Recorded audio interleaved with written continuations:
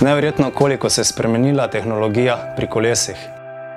Prav tako nisem hotel zastarelega ogrevanja in sem se odločil za najmodernejšo. Preučil sem vse načine ogrevanja, na to sem se po posvetu strokovnjaki odločil za IR panele EcoSen.